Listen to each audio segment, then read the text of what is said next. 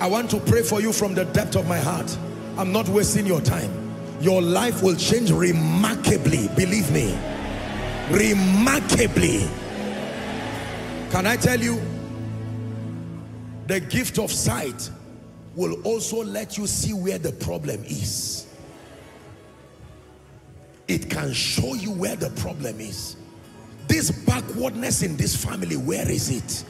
What is the root of this tragedy that has tied down men, tied down women, tied down great people? It is not only to see the future, you can see the origin of tragedies and to correct them. Who seen that this man was born blind? Himself or his father? And Jesus said, neither.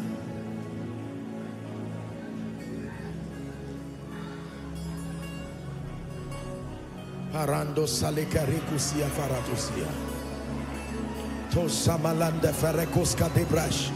And those who are following online, you're about to receive something miraculous and marvelous. Miraculous and marvelous. The gift of sight. The seeing eyes. He said, blessed are your eyes for they see and your ears for they hear.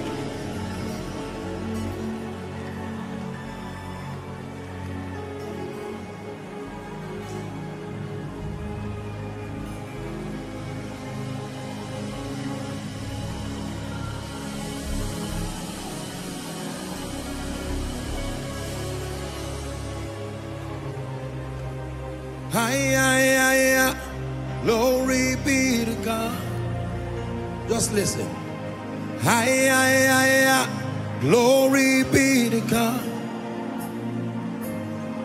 Hi, hi, hi, hi. Glory be to God.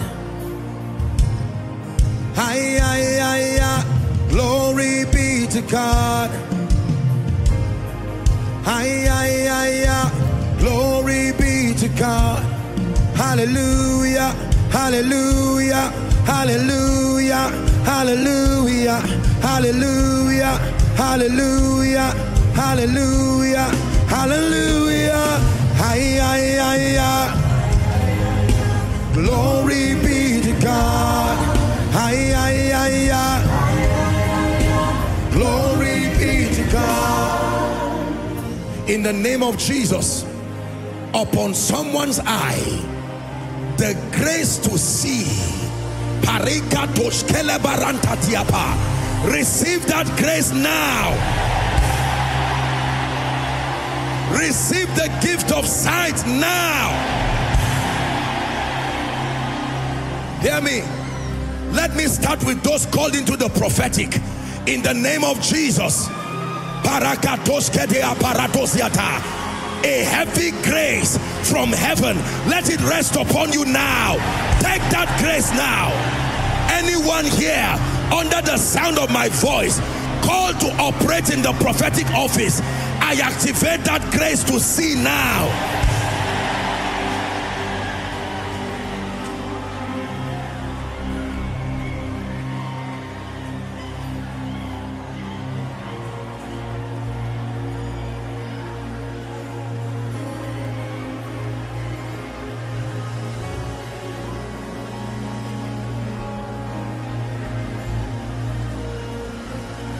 I decree and declare the grace that brings life to your dreams and your visions from this night. May that grace rest upon you now. Restoration of dreams. Restoration of prophetic dreams. Restoration of visions. In the name of Jesus Christ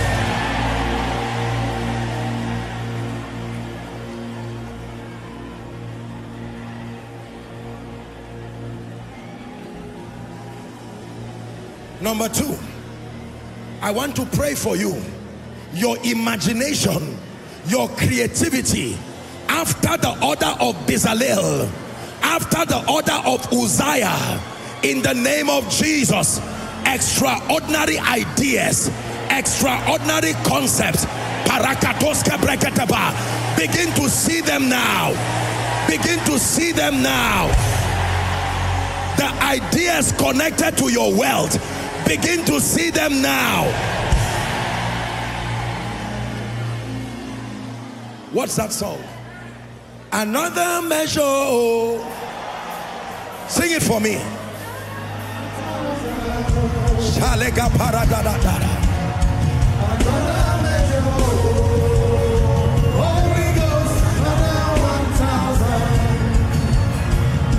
Another measure.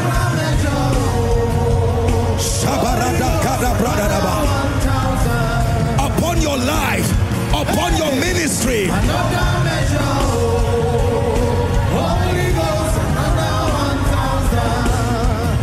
Receive it in the name of Jesus. I impart that grace upon you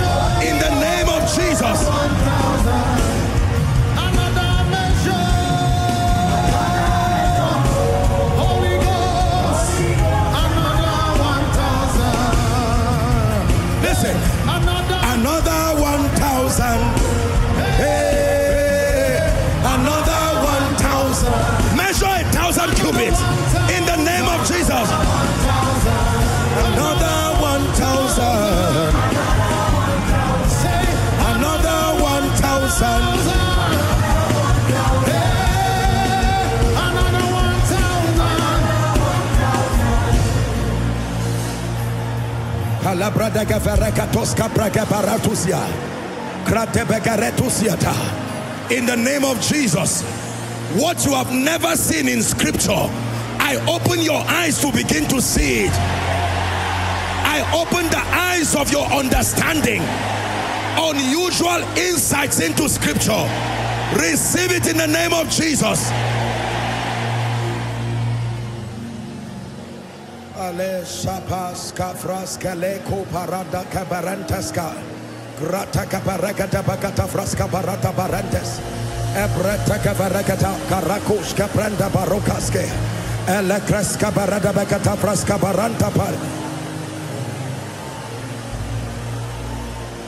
Hallelujah. Now hear me. There are many of you at this point in your Christian experience.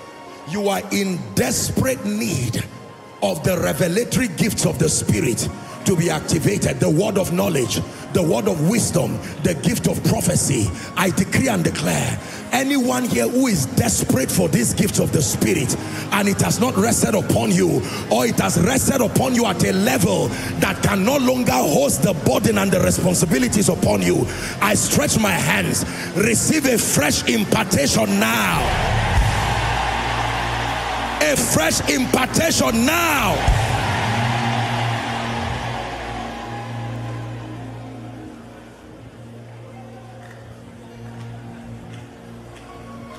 A fresh impartation now.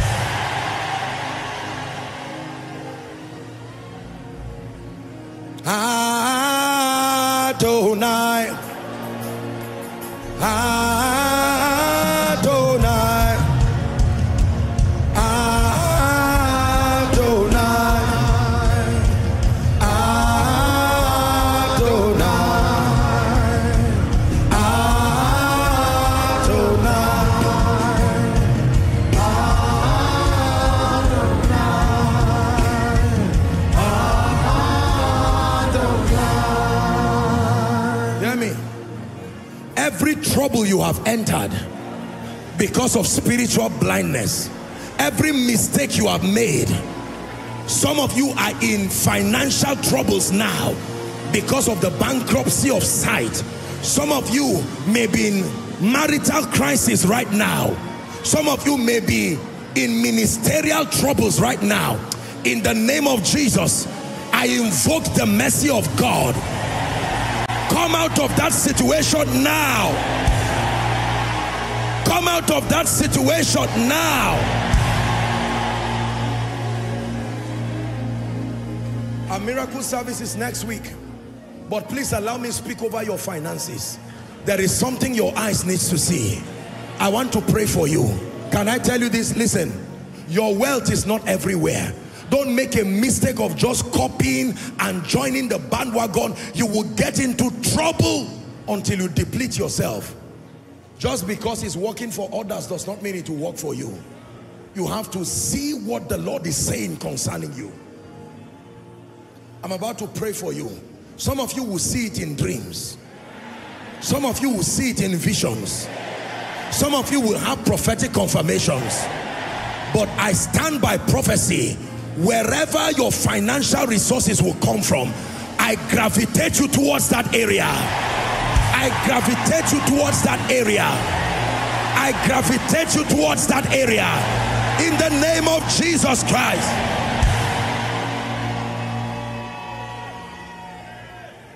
Everybody here who is a leader or you are in ministry, in the name of Jesus, I'm praying for you.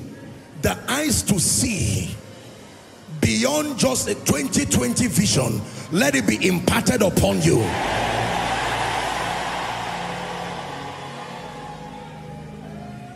I'm praying for you from the depth of my heart.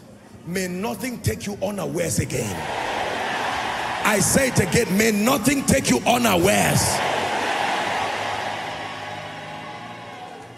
That before it happens, by the power of sight, may you see it. So that if you have to stop it, you stop it from happening. And if you have to allow it, then you allow it happen. Hear me? By the gift of sight, you will never enter any vehicle that will kill you. Let me repeat it again. You will never enter any vehicle that will kill you.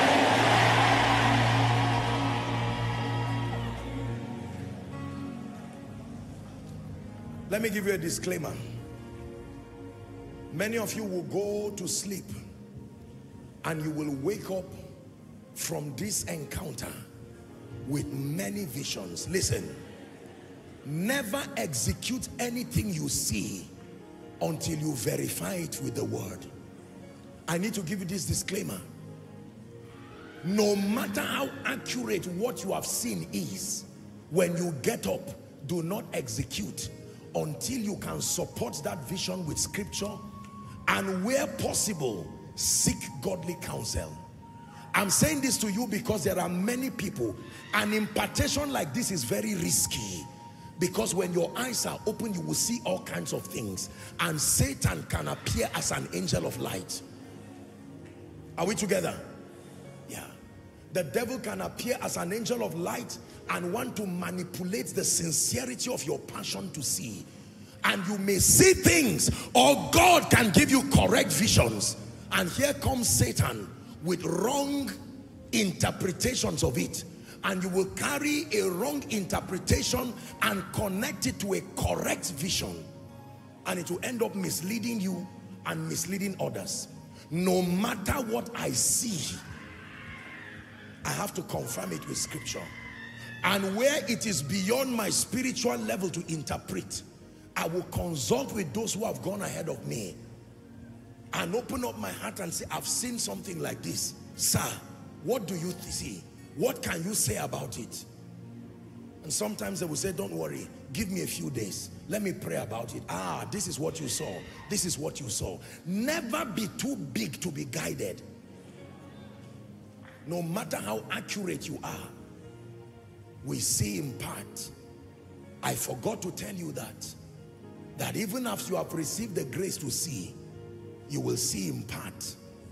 That means the word of God that is wholesome and complete and entire must vet your visions, must vet your dreams, must vet your creativity, must vet your prophetic experiences. That way, go and listen to my message, The Value of Encounters. There is the prophetic dimension of the word that immunes you and stops you from getting into error. Many people pray their way to visions, but because they did not honor scripture, they started seeing things that misled them. Some of you have seen people like that. They start acting as if they're having a mental condition. It was prayer that took them there and they did not have respect for scripture. They now start, you see them misbehaving. They start talking to themselves. They will not take their bath for days. They will start looking as if they are mad people. Eventually, they will get them on admission in the hospital. I have to tell you as a responsible man of God that when you are open to the vistas of the spirit, it is a very vast realm. What gives you stability is your respect for scripture. Otherwise, your eyes will see a lot of things. The devil will manipulate you to sleep and see someone carrying the form of your mother, lifting a knife, and you will get up and say, ah, so my mother is the person behind this. And Satan has succeeded in cheating you. He took advantage of the opening of your eyes. As an, an, an innocent woman who loved you and nurtured you, you will begin to hate her. This is the number one problem with the prophetic ministry. Their inability to sieve their experiences and vet it from the lens of scripture. There are many people today who are called witches and wizards. There are many sincere family members that have come at loggerheads because some apostle or some prophet said, this one is this. I believe that there is witchcraft. But there are many people, an innocent husband and a wife, and suddenly they make the wife hate her husband. I see that this guy wants to destroy you. Interpreting visions has a protocol. There's no time for that now. But you need to learn to sieve your visions. There are many things you will see that are not necessary. You dump them and focus on that which is consistent. Everything you see does not have to be interpreted. When you are mining gold, you will fetch sand. A lot of other things will come. Push them away. You are looking for gold. Hallelujah. I'm saying this so that you don't create another kind of error. And for someone who is watching, I have to bring this balance as we wrap up.